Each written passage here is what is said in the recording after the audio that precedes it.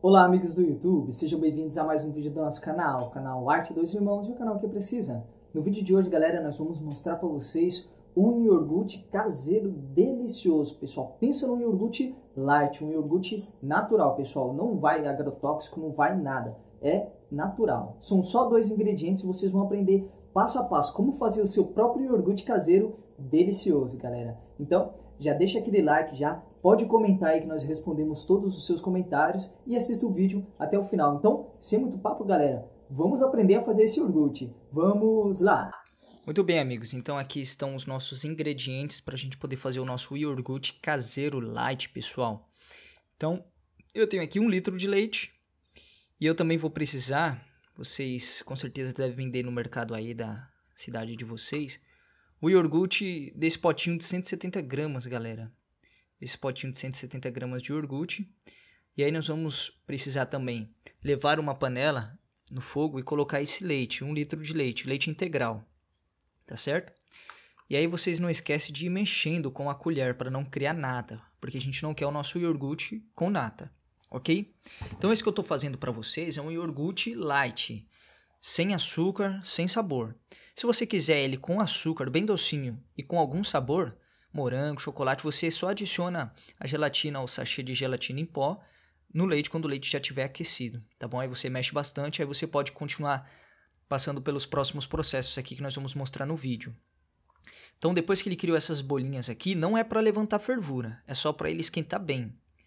E aí você vai poder tirar ele do fogo, deixa ele esfriar para estar em 45 graus. Como você sabe que tem 45 graus? Você pega o dedo, coloca no leite e tem que aguentar 10 segundos. Depois que você fez isso, nós vamos fazer aqui uma mistura. Desculpa aqui que eu não achei a concha, pessoal. Eu vou jogar aqui um pouco do meu leite no meu iogurte e aí devolver para minha panela junto com o leite e misturar bem, pessoal. É necessário misturar legal. Então esse processo aqui que nós estamos fazendo da mistura é o primeiro processo. E aí nós vamos precisar colocar em um recipiente para levar ele para fermentar. Eu escolhi aqui um recipiente com tampa. Você pode colocar em um recipiente sem tampa, cerâmico, de vidro, mas aí se não tiver tampa, você pode passar um sulfilme em cima. E aí nós vamos precisar embrulhar com um pano. Pode ser pano, pode ser pano de prato, pode ser coberta, pode ser qualquer tecido que você tenha. Ele tem que embrulhar para manter a temperatura dele. Eu levar, vou levar aqui para um lugar escuro e deixar 12 horas. Então depois que eu deixei essas 12 horas lá, eu deixei mais umas 3, 4 horas na geladeira.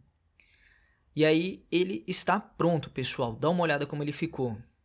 Nosso iogurte caseiro, pessoal. Já se passaram bastante tempo. E eu voltei aqui para gravar o final. Olha só, pessoal, como ele está consistente, pessoal. Parece quase um requeijão. Tá bem consistente mesmo, pessoal.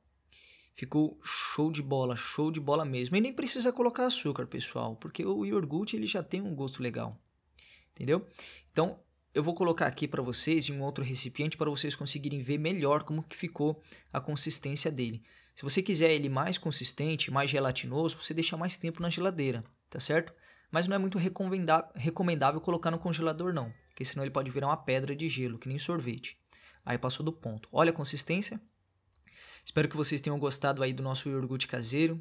Se você gostou, deixa o like, comenta aí se você fez e deu certo.